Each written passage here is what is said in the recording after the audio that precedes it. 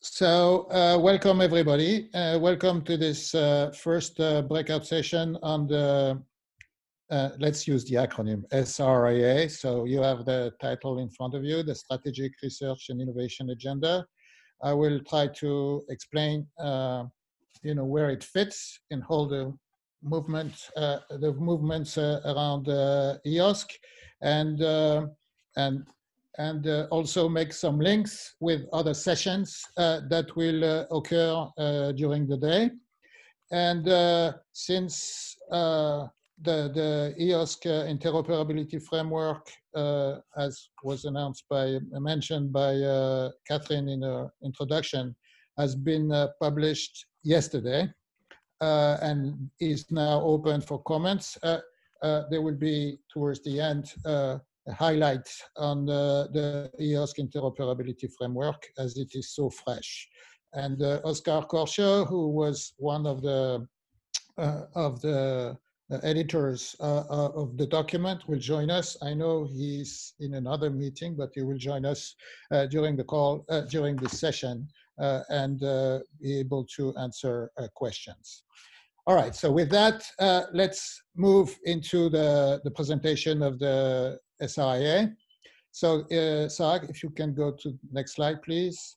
All right, so first of all, uh, the, the, the, I chose to this slide as an intro because this is the beginning, uh, today is the beginning of a long journey, which will take us uh, uh, early October uh, you know, with uh, the final version of this document that that is just started to be developed as we speak, right? So there is not even a full draft as we speak today, and there will be hopefully there will be one by the end of the month that the executive board will be able to review as well as the governing governance board a few days later and then the the main part of what uh, uh, would lead us to, to the uh, October will be an open consultation uh, over July, August, and September. So we know that there are vacation period at that moment in time, but we felt that uh, if we pick a three-month window, it will give an opportunity to everybody to contribute. So, so bear with us. Uh, this is just the beginning but uh, we wanted to take the opportunity of this uh, consultation day to introduce uh, where we are and, uh, and of course, more importantly, point to the open consultation that will occur uh, over the summer. So next slide, uh, Sarah, please. All right, so we're not starting from zero. So we put together a, a, table of contents, which I will review very briefly. And uh, so first of all, of course, uh, yeah, so uh, before I get into the details of the table of contents, uh, first, uh, what is the audience? What's the purpose uh, of this document? So I will connect it to what's going on in general, but at this stage, looking at the table of contents, I just want to, to share that this document will be for anybody uh, anybody who is interested in EOSC. So it, that goes from, uh, the, of course, the European Commission and the member states, but uh, to, the, to all the infrastructure people in charge of working in, within infrastructure or funding organization, uh, and of course, any scientist. So it's a challenge uh, in designing this document uh, to have a single document that will be um, made available as a reference document for such a diverse uh, community. So uh, we have to have that in mind, and there will probably be an how to read section, uh, how to read this document section at the beginning to help people, you know, focus on the on the parts they're more interested in. But we have to have that into uh, uh, into our brain, right? This document at the end of this year, uh, the the 1.0 version of the SRIA will be the reference document of what has been done so far and what we intend to do in the future, uh, you know, related to EOSC. It's sort of a, a, a, a snapshot of where we stand uh, at the end of 2020. So uh, briefly on the table of contents, uh, introduction of uh, what's happening and the, and the impact of the, the rise of the digital age to, to, to the to the movement towards open science. Uh, part two uh, connects this overall movement to what's going on in Europe.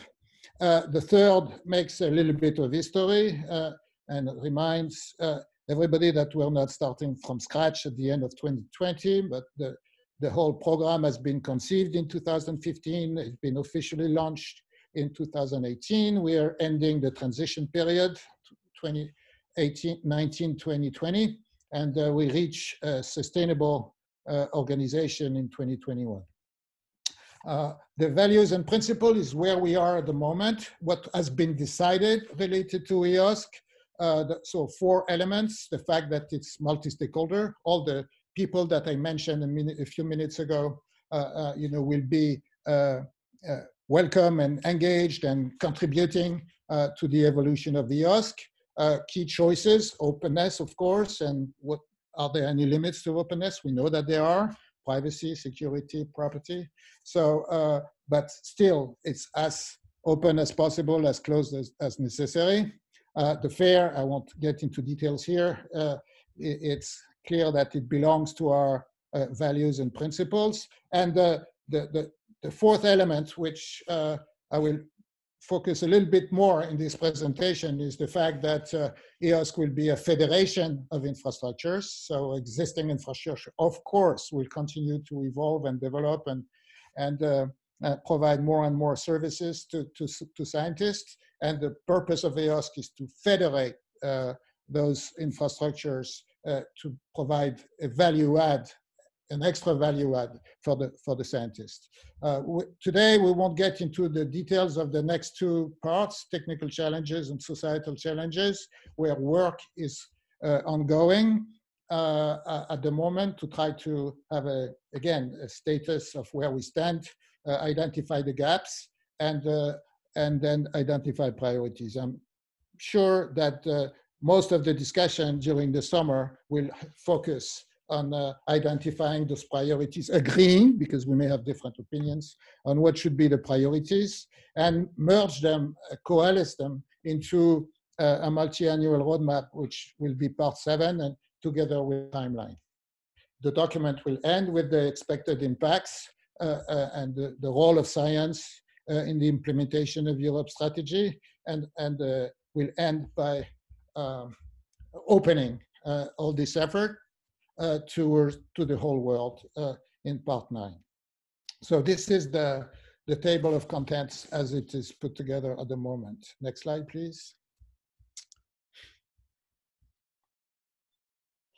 Okay, very briefly, uh, uh, Catherine showed, this is the link to Catherine's first presentation, uh, initial presentation on the objective three, uh, and and the fact that after you know trying to you know ag not agree, well, to share the, our vision of EOSC, you know here this slide summarizes the fact that EOSC is about people, mostly scientists and others uh, that have to play into the game, uh, trying to leverage uh, the ever-growing uh, available uh, data or scientific results in general and data, data, in particular that need special attention and share them uh, within infrastructure. Today, you know, this vision has its limits that are described in the, in the barriers and the objective of EOSC is to uh, enhance the situation by uh, making open science the new normal, uh, providing the standards, tools, and services that will allow researchers to find, access, and reuse interoperable results, and federate the infrastructures so that open science can be developed on the whole available set of information uh, uh, across Europe in the first place and the world in the second place, with uh, benefits uh, of course, for science to do better science.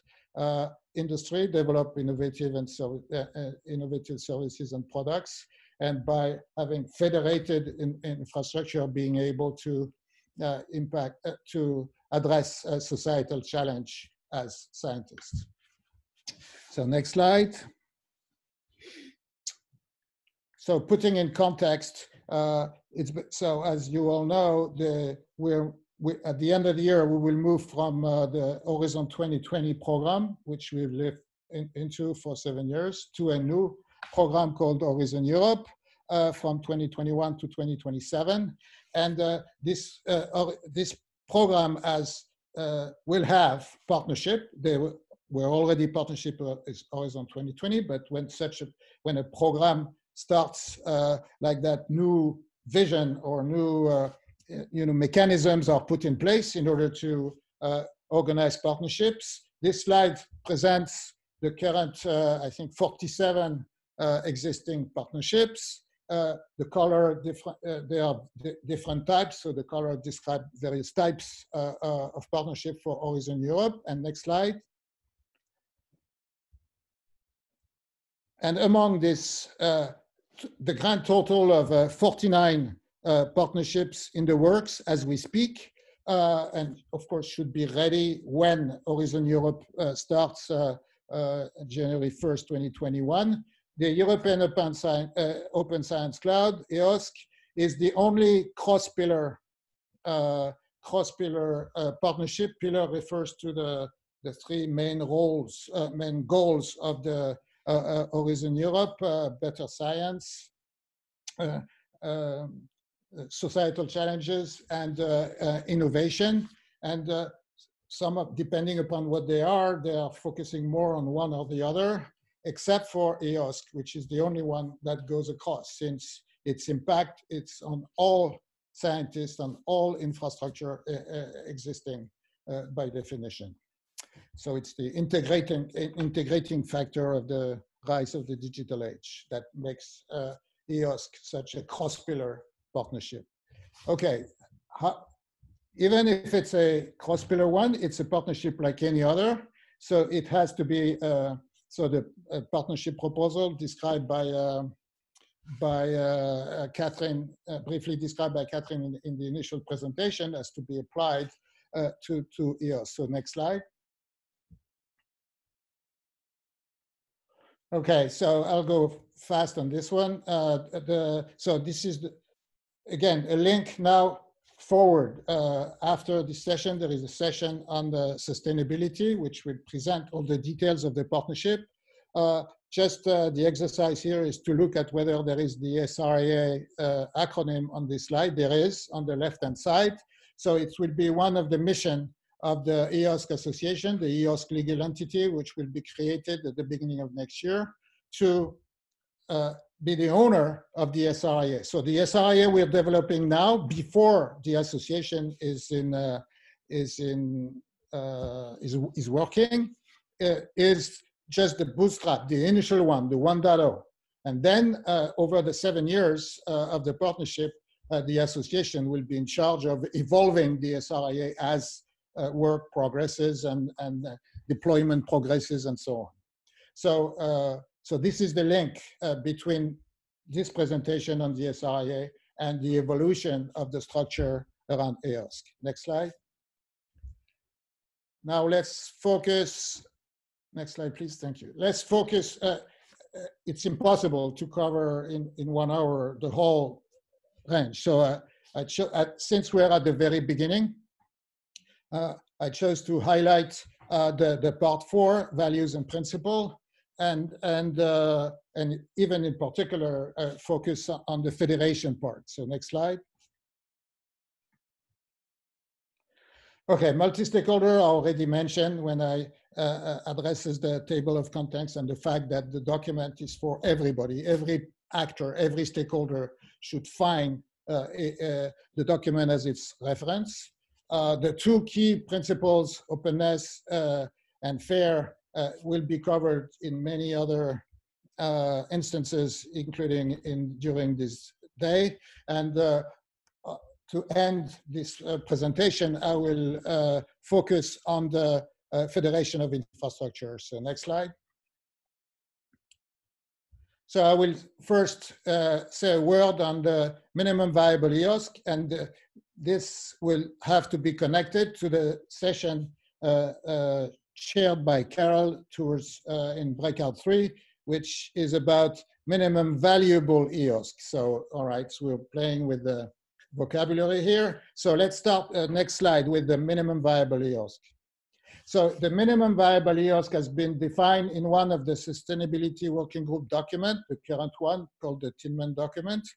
And that sentence says uh, minimum viable EOSC will enable the Federation of Research Data Infrastructure for the benefit of publicly funded researchers accessing openly available data. And the document goes on by highlighting the, the three key components that are necessary for that to happen, a mechanism for naming and locating data and services, mechanism for discovery of and access to data and services, and a common framework for managing user identity and access. Next slide.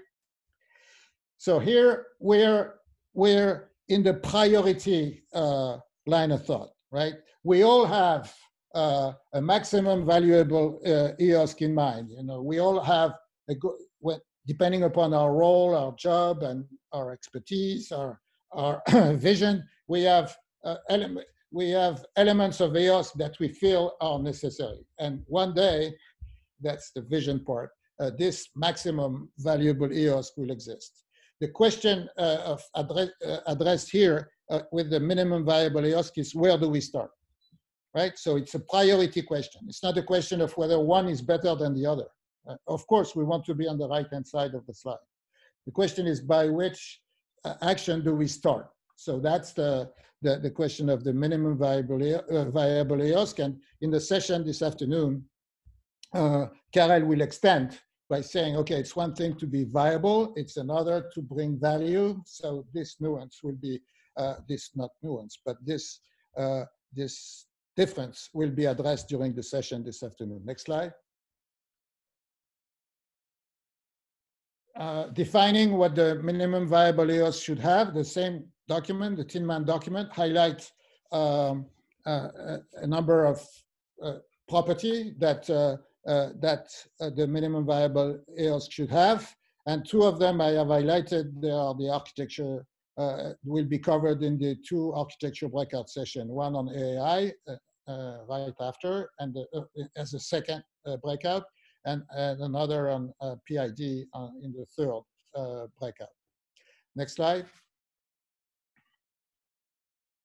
Okay, and now the focus on the EOSC interoperability framework, which, uh, as uh, uh, Catherine said, has been published yesterday. So you go, so you have the links in Catherine's presentation. You go to the liaison platform, and the first entry in uh, the, or the last entry uh, uh, dates from yesterday and points you to the EOSC interoperability framework. And, I, and Catherine also showed you the direct link to go to the, to the document if you want to. So next slide.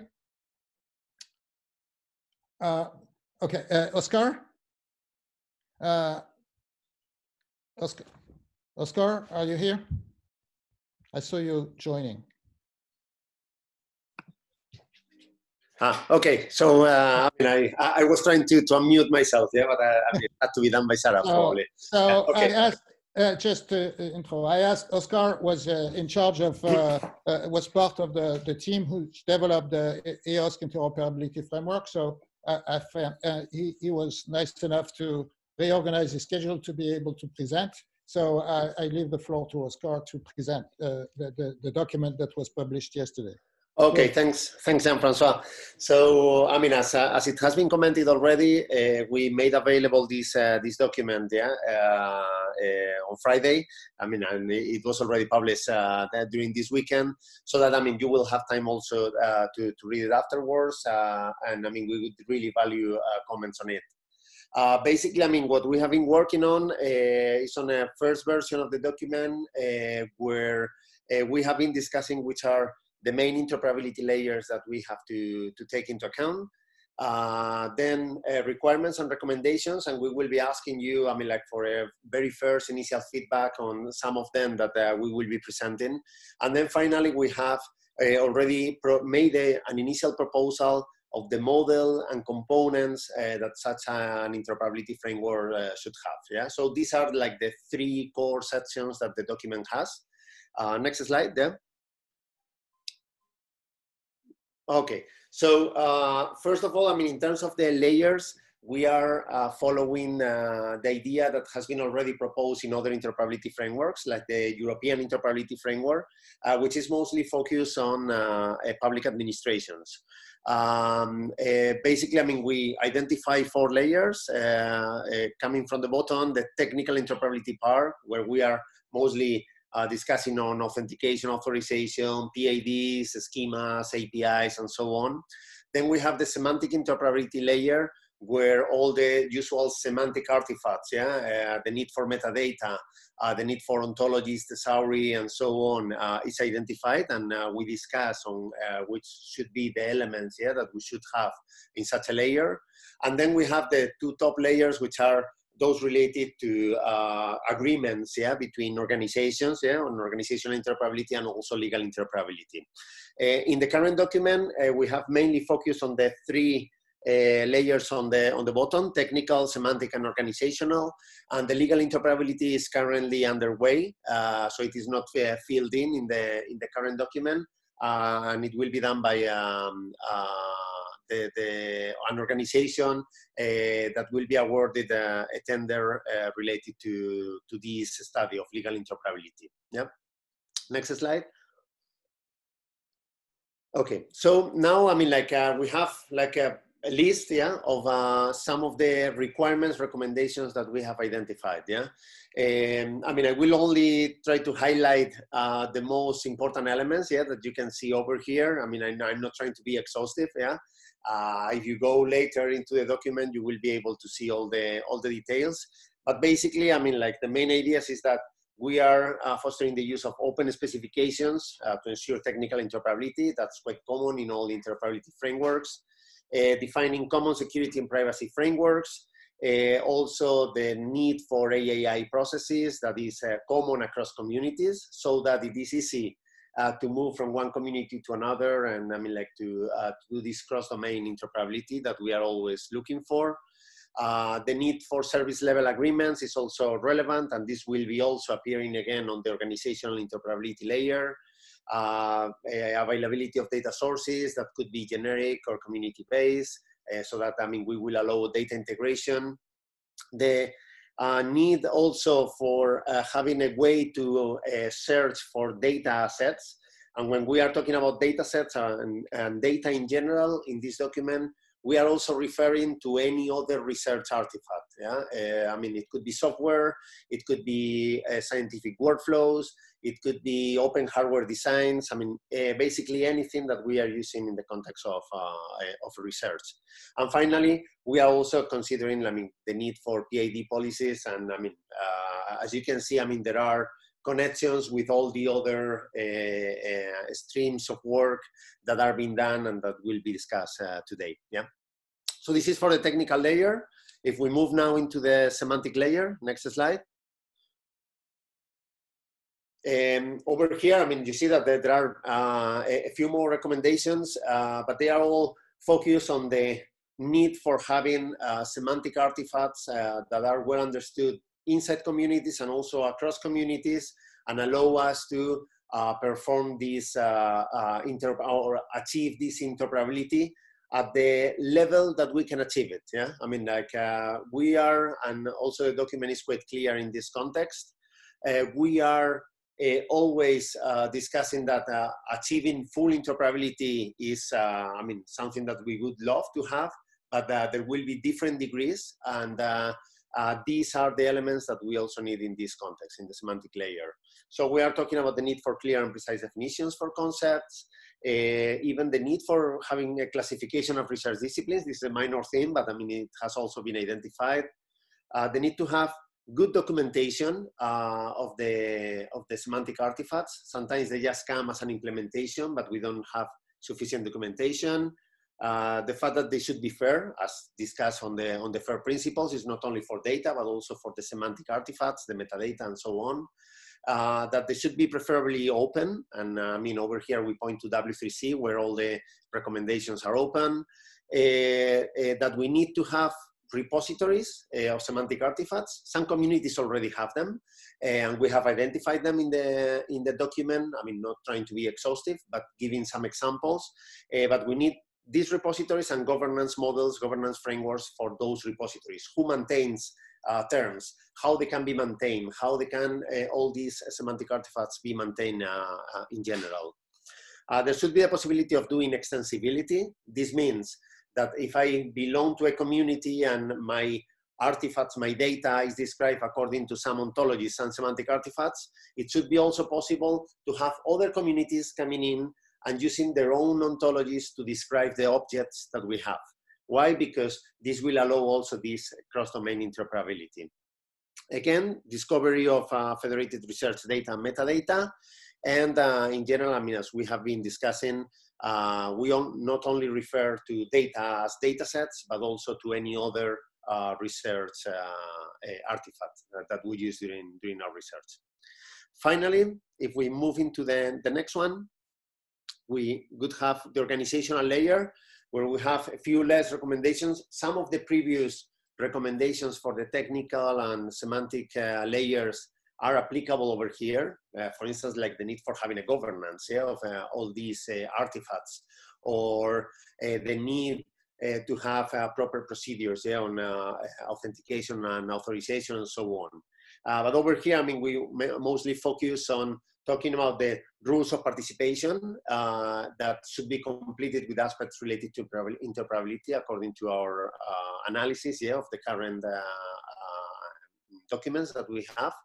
And finally, in terms of the services, uh, we are also recommending over here the uh, importance of having organizations uh, complying with uh, standardized data formats, vocabularies, their corresponding metadata, and with some level of quality, yeah, which are uh, quite relevant in this context.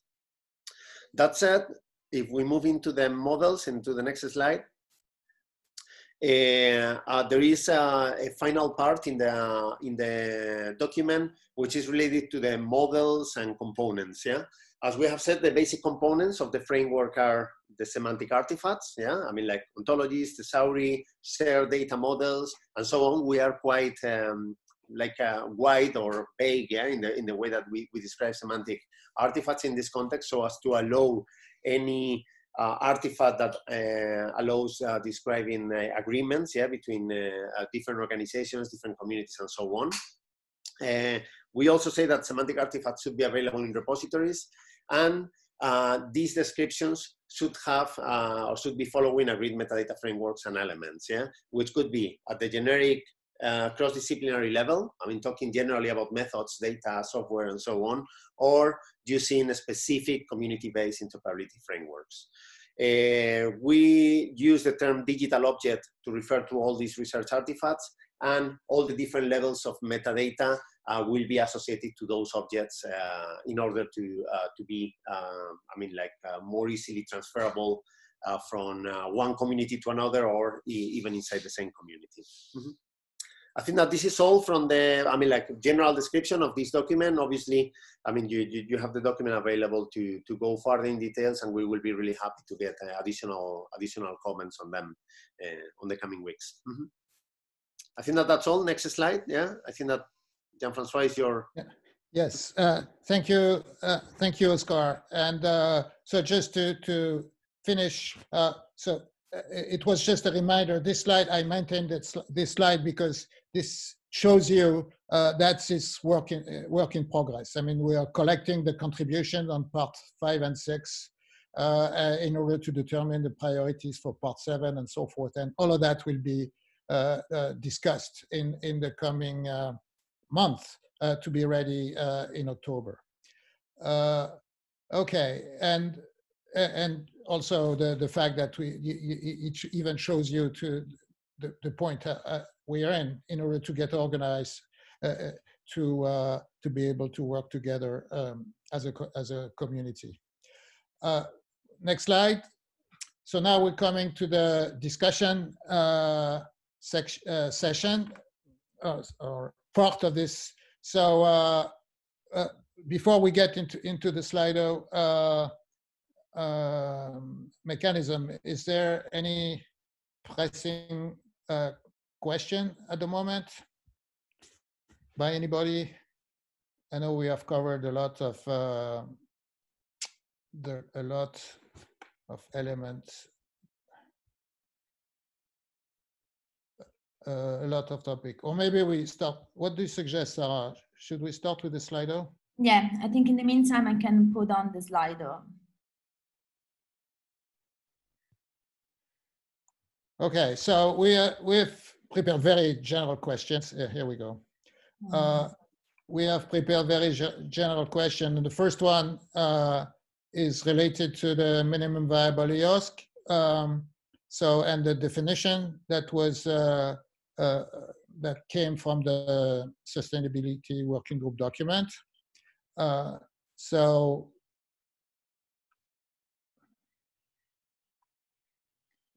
Sarah, do you have problems? Yeah, uh, I'm just uh, opening the Slido. You should see the Slido, right? Yes. Okay, so now uh, it looks like we're we're on our way. We see the the answers coming in. Yeah, and I've seen that Oscar has addressed a couple of questions in the chat. I don't know, Oscar, if you want to further comment.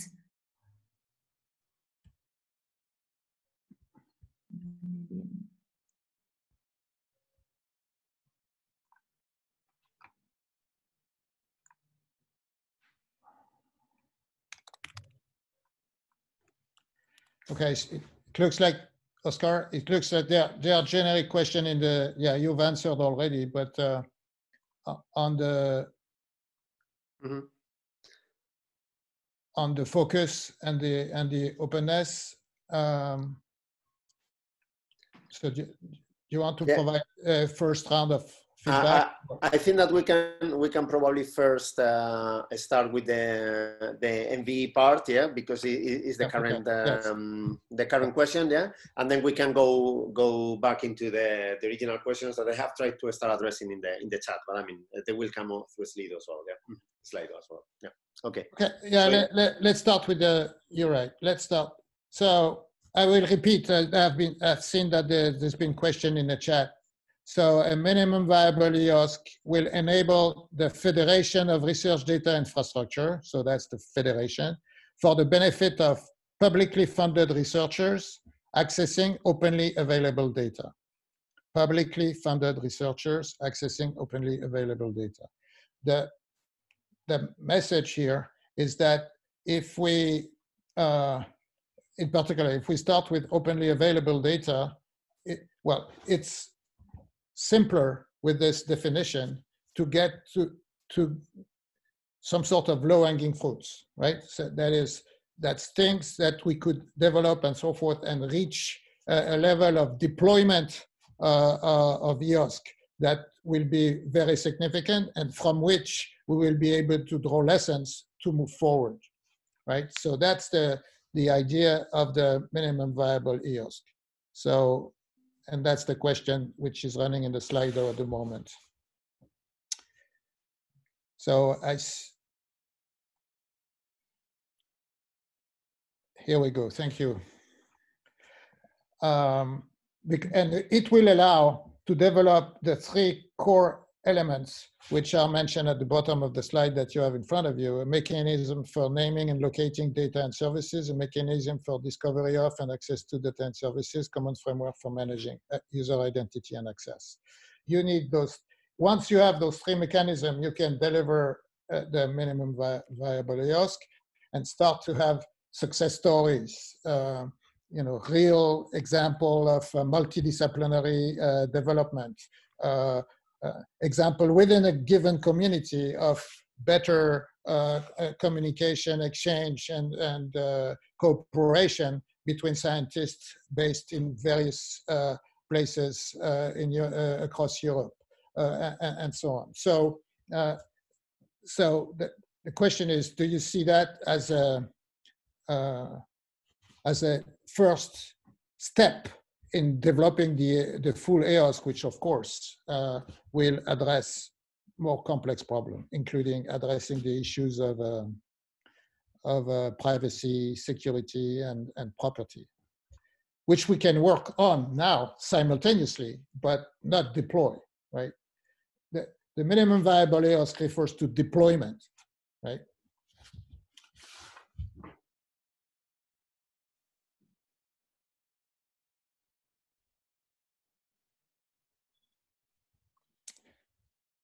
So uh, the Slido gives um, uh, you know, majority for the yes, probably some uncertainty or clarification or, uh, you know, when uh, I, I chose to have the maybe so that, uh, you know, people uh, who are not clear enough on the question can express their, their opinion and a few no's.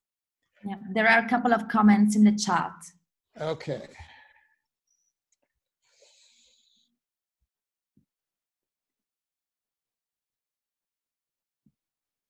Okay, so on, yeah, implement. So I see a question on implementation.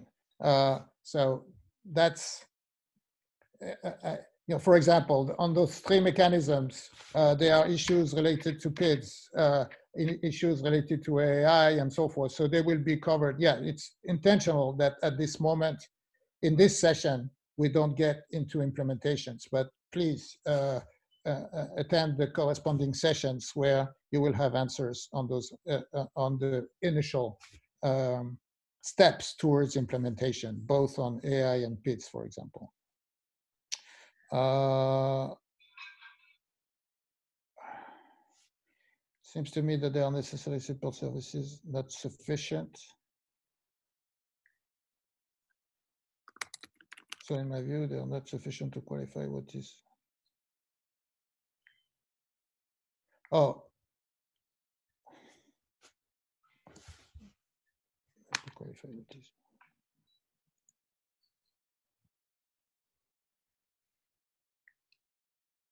Uh, Tiziana, do you want to extend your comment? Uh, is it possible to give the floor to Tiziana? Absolutely, yes. I'm unmuting you, Tiziana. You can speak now. Hello, everyone. Uh, thanks for uh, giving the chance to, to ask the question. So my remark is about uh, what is uh, the minimum viable EOSC. So what uh, I notice in this definition is that these are necessary support services, but they don't provide the end user value as they are. So in my view, the minimum viable EOSC to be attractive should provide user-facing services uh, in order to address users, and these are actually support services. Yeah. Uh, so yes, uh, I guess we agree. Uh, uh if we move to next slide, the, the next slide of the of the deck, it's clear. We we so the three mechanisms are have been put forward in the previous slide because they are necessary, right? And and they are not there. So developing services, if you don't have the the, the three mechanisms or, or the common platform, it's necessary. I agree with you, uh, Tiziana. Uh, and uh, in order to be sufficient, so, to, so to define completely what the minimum viable EOSC, yes, uh, the mechanisms do not, and that's why the words mechanism and framework are used, because it's clear that with the mechanism, you don't have a service, right? You don't deliver. So, however, we need the mechanisms to be agreed upon so that people can develop the services. So we agree on that. Uh, other questions? The MV, I'm sorry, I have to subsample, there are too many. Um, the MV seems rather resource provider oriented. The minimum product should have at least one service for the customer, the researcher. Uh, well, again, uh, so I think it's the same answer as the one I just made to Tiziana. The, yes, the mechanisms, uh, well, the definition is user-oriented since it's, it's a publicly funded researchers uh, access to openly available data. So the definition itself is user-directed. The three mechanisms at the bottom, uh, the two mechanisms and the frameworks, yes, uh, they are resource providers. So, um, and I think I've answered answering uh, Tiziana. Um, I, don't think I will be able to cover all of those. Yeah. I suggest, uh, Jean-François, to ask people to raise their hands if they want to express any remark. Otherwise, we move to the next question, maybe. Yeah. And I then there will be still time in the closing plenary to address Exactly. questions. So Yes, maybe we were too greedy by trying to address multiple topics at the same time. Anyway, let's go. Uh, let's uh, get to the second question about the. So, if you can show the requirements um, uh, in the in the PowerPoint part. So this one is on the technical layer, and then there are three, right? Uh, this one so the, the question is, um, well, do you agree with the, uh, with this uh, state uh, in, in this document, EOSC uh, 1, uh, Interoperability Framework oh? 1.0?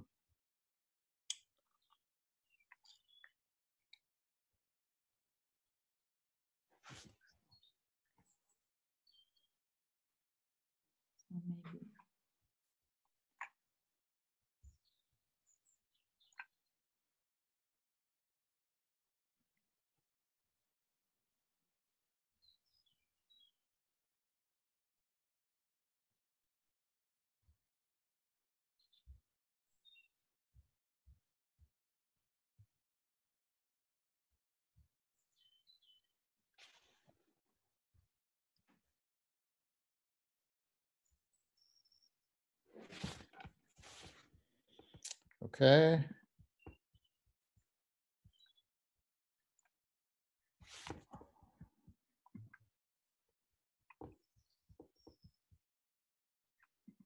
Hmm.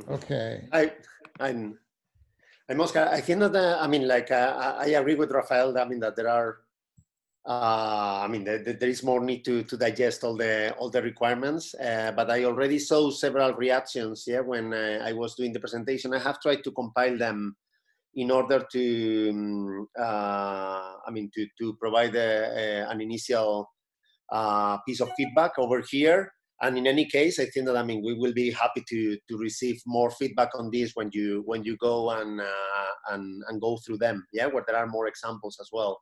So there was uh, one comment uh, that was, uh, or a couple of comments related to open specifications and what we understood by open specifications.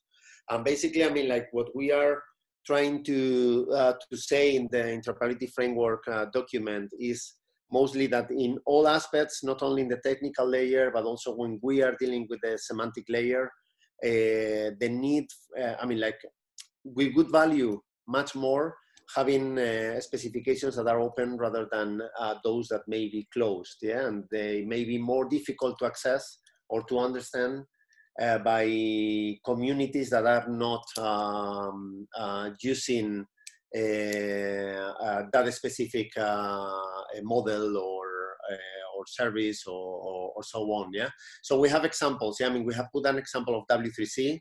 Uh, there was also another example on the chat on HL7, uh, which are open specifications. However, we have also ISO, and uh, we really have to to balance, yeah, to, to have a, a, good balance between the specifications that are open and those ones that are not open. So we understand that uh, a, a, nice requirement would be to use as many open specifications as possible. Yeah, that's like a general, a general comment that we make over there. There was also some uh, comment uh, on SLAs, on service level agreements, uh, where we say specifically that they should be easy to understand by, by users. And I mean, I had a comment also uh, related to that uh, the fact that it may be also nice to have them as machine understandable and I, I, I, think that I agree with that uh, comment. We will probably include some references to, to that, yeah, that uh, they were not included uh, before. And then, I mean, I think that it was Isabel who was uh, commenting that we were not covering services and processing uh, in this um, a list of requirements. Uh, I wouldn't say that this is the case. Probably we can stress it uh, a little bit uh, uh more. Uh, but uh, I mean, when we are talking about all the typical or potential research artifacts, we are not excluding the possibility of having processing services.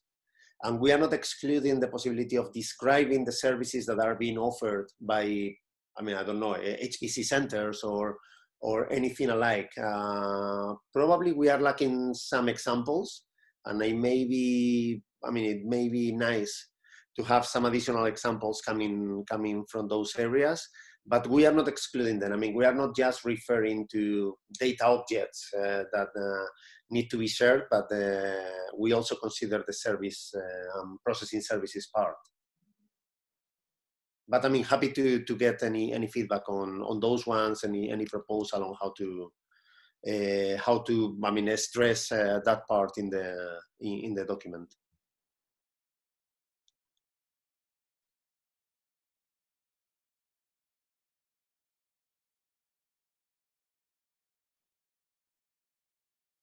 There are some comments in the chat. Mm-hmm. Yeah, yes, yes, yes. Uh, I think it's, uh, so we have another 10 to 15 minutes, is it? Um, So I don't know, Oscar, how would? Yeah. how should So we- I, I just I'm just checking there. I mean, like uh, Costas was commenting again. I mean, in, in the topic of open standards, that sometimes I mean there are also other standards here or there are uh, things available that are easier or better to use or more available.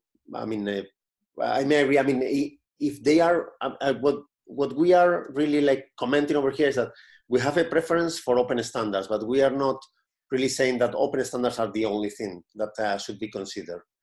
I'm not sure. I mean, if uh, there is a lot of controversy on that one, I mean, we may try to get back and see whether whether we have to either rewrite it or or even even remove it. I mean, I think that, that that's I can see that uh, that there's controversy over there. Yeah.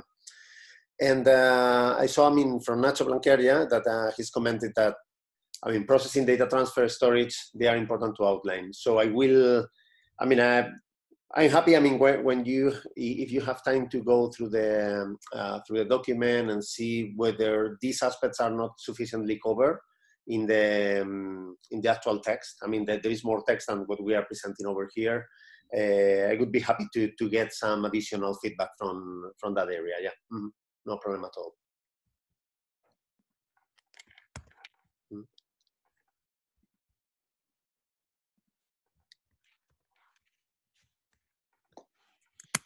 Uh, I've posted the link to the uh, EOSC plat uh, liaison platform, and, and and you're one one click away from the from the actual document for those mm -hmm. who wanted to get access to it in real time.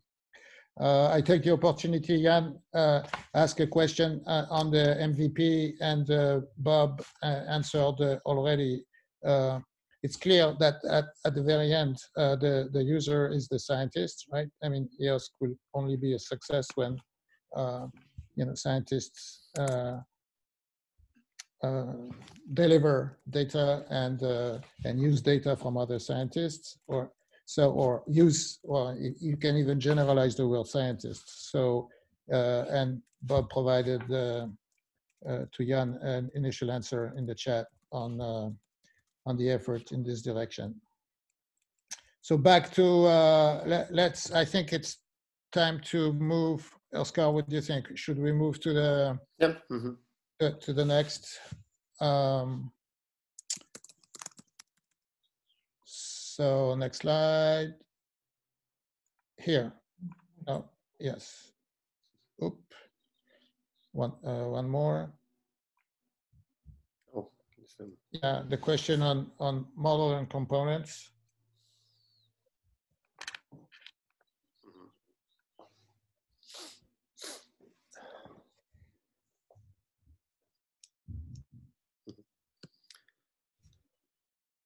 So I think that over here it is also important that um, in the document there is much more um, discussion, obviously, on the on the actual models here that we are uh, proposing initially, and I mean this will require some additional reading, yeah. But um, I mean we would like to understand whether these like general, very general points that we are making uh, over here. I mean, whether you agree with them or, or not. They are mostly focused on the semantic interoperability part.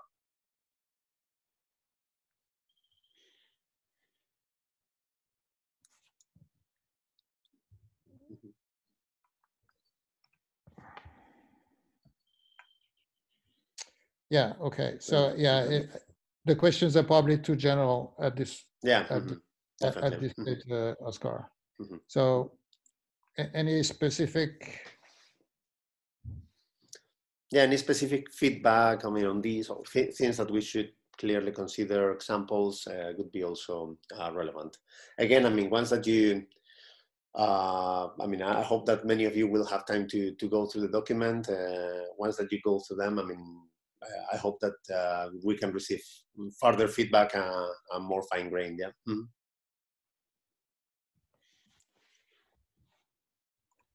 Thanks. Uh. I, uh, I, I understand that this is, uh, this is the limit. I mean, we've all learning of how to manage a group of uh, 274 uh, people uh, in, uh, in such a conference. And um, so uh, at least it was an attempt to, to do it. Uh, you have, uh, you know, basic uh, information, links to more detailed uh, information. So I, I think we should probably. I, I don't see any more uh, input in the in the chat, so maybe we should uh, close here. Any general comment by anybody?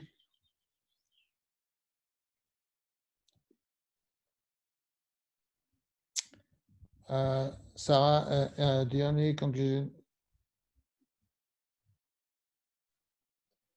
the only conclusion which can be done that this agreement is a very small minority, if it is there at all, lack of details is choosing. Yeah, exactly.